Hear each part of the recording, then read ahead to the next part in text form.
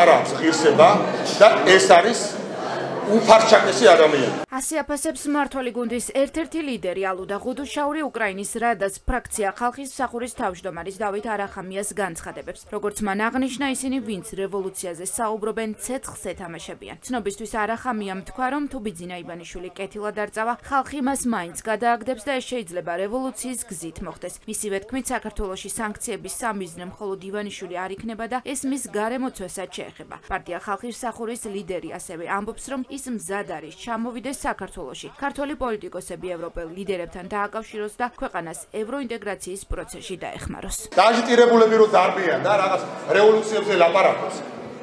მანამ არაუდგა გვერდები მაგათ სანამ აქ რევოლუცია მაგათ მაგათ მოსწოწმობი არ გახდა. აი ამ ფარჩაკი ადამიანის გაკეთებული კომენტარის შემდეგ ხატია დეკანოვიცი გამოვიდა და თქვა რომ თურმე აქ რევოლუციის სუიტრია ზელს ეთამაშებია.